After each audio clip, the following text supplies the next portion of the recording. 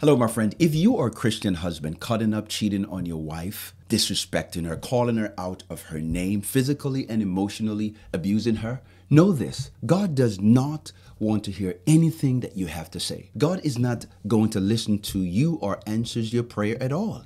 You will not be blessed, nor will you have success long term in your life. This is not some kind of a curse that I'm putting on you. This is biblical. This is the word of God. There is a scripture in the Bible that talks about how a husband is supposed to treat his wife, and if he treats her differently, there's going to be consequences. In this video, I will share with you that scripture and then I will break down the scripture to you and give you some ways in which you can improve your relationship so that your prayers will not be hindered when you pray as a husband. Let's have this conversation.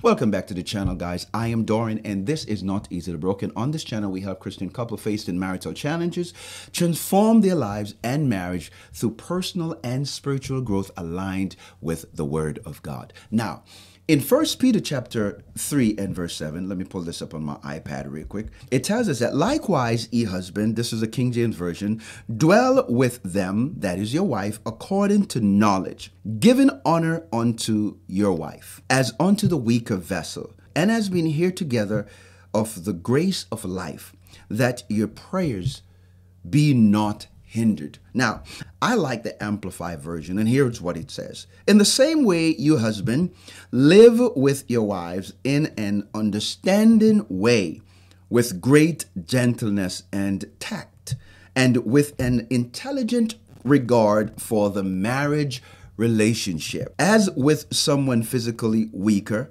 since she is a woman. Show her honor and respect as fellow here of the grace of life, so that your prayers will not be hindered or ineffective. I like that part hindered or ineffective. In a Christian marriage, this verse is interpreted as guidance for husbands on how they should relate to their wives. And I'm going to break down some key points in this particular verse. Number one, consideration. Husbands are urged to be considerate and thoughtful in their interactions with their wives. This means taking into account their feelings, their needs, and their concerns. You know, talk to your wife, listen to her, lean into her, and also meet her at her needs. This means that a husband should be emotionally available to his wife, show interest in her, treat her like the queen that she deserves to be treated as because she is your queen indeed, right? So, number two, um, respect respect. The verse emphasizes the importance of treating your wife with respect. It is not only the wife who should respect her husband, right? Wives need to respect her husband, yes, but the wives need respect too. However, this respect is demonstrated based on how you as a husband love and treat your wife. This includes valuing her opinion, showing honor to her, and not demeaning or, or, belittling her in any form or way or fashion. It is about elevating her. It is about loving her and treating her with the honor that she deserves.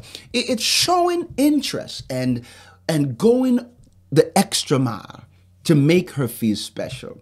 That's what this is really talking about. And my friend, if this video is blessing you and adding some value to your life, please do us a favor and hit that like button. It is the best way that you can show your support to this channel. And also subscribe to this channel if you want to get more content like this. Number three, acknowledging differences. Yes, acknowledging the difference between you as a husband and your wife.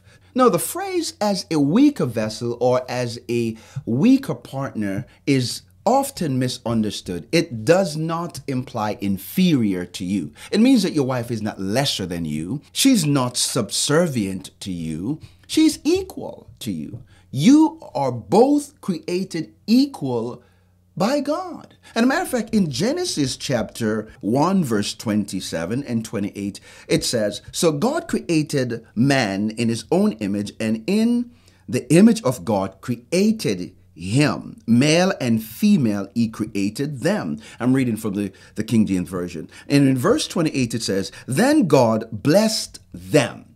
It didn't say God blessed him.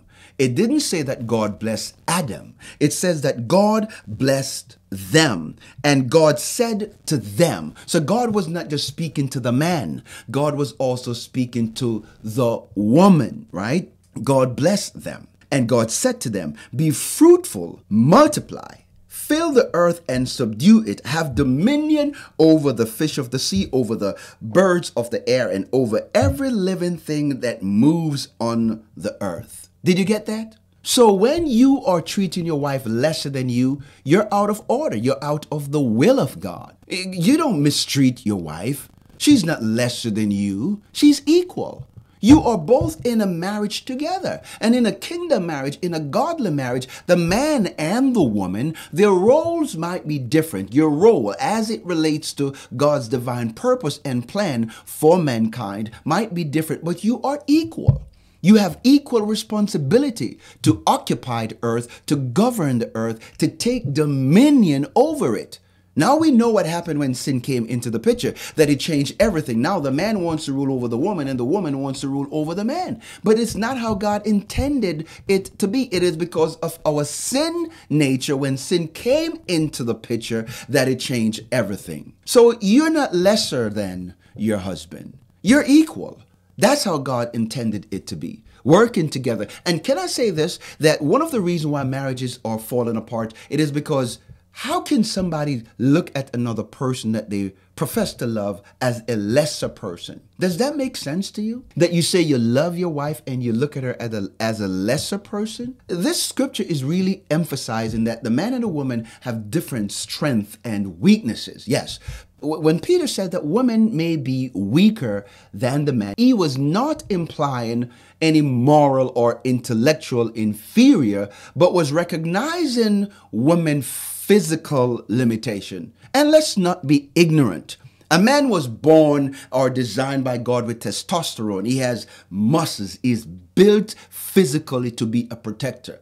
He's built physically to provide. He's built physically to show himself strong for his wife when he needs to show himself strong. And when he needs to show himself loving and caring and passionate, God created both sides of that man.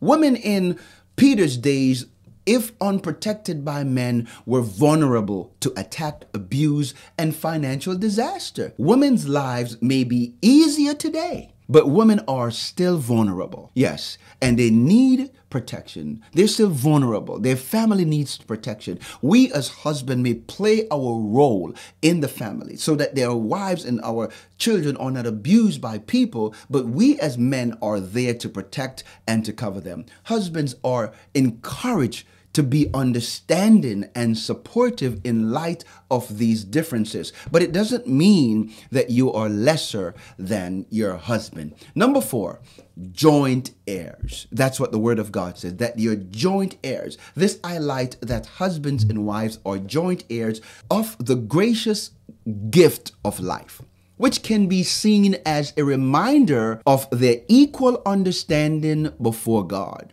Equal Yes, equal. I said it again equal understanding. Now, my friends, in a Christian marriage, both partners are seen as equal in values and in worth. The wife is equal. Again, as I said earlier, she's not lesser than you. She's equal. She's not subservient. She's equal. She is right beside you. She is your helpmate. She is working with you, creating and building with you. The two of you guys coming together as one create something beautiful. And when a husband honor his wife and respect her in this manner, you are blessed by God. The Bible says, you know, he who findeth a wife findeth a good thing and have obtained favor from the Lord. You are blessed and honored by God when you find a wife. Point number five prayer. This is the key point in this whole entire video. The Bible says that your prayers will be hindered. If you are a married Christian man and you're not honoring your responsibility, there, this is a problem now. Because the verse suggests that treating your wife with consideration and respect is linked to the effectiveness of your prayers. It is linked to how God view what comes out of your mouth. It implies that a husband's relationship with his wife can impact his spiritual life and his relationship with God. God will not answer your prayer if you mistreat your wife. That's what the scripture is saying. As a husband, the way you treat your wife, it matters. If your wife is crying because of the things that you say about her, the words that you're using and you mistreat her, you're cutting up, you're shacking up, you're committing adultery, you're physically abusing her. I mean, if you're doing these things as a Christian, what kind of Christian are you? That's not godly behavior. That doesn't exemplify or it doesn't represent a godly man. It doesn't represent a good Christian husband. And how do you expect to hear from God when you're doing these things. No, I'm telling you, God doesn't play games with men like that, man. You don't need no smoke with God, man. So do the right thing. God is not going to answer your prayers. This is a clear sign that your prayers will be hindered. I'm not calling down anything on you. You're doing it to yourself. And this is not a wife getting bypassed by disrespecting your husband. Oh, God have something for you too, because your prayers won't be answered. But I'm dealing with the scripture based on what it says about husband. And and sometimes husband will say, you know what? I feel like you're picking on me. Well, it's not a matter of picking on you. It is a responsibility that comes with the assignment. It is a responsibility that comes with you being the head, the leader. Not a ruler, but a leader. This is about spiritual maturity right here.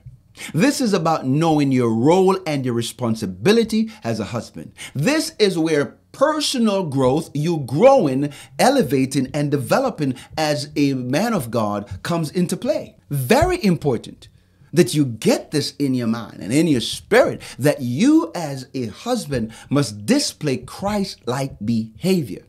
We're talking about a Christian husband now. Spiritual growth must be on full display so that you, as a husband, can be honored and be respected by your wife.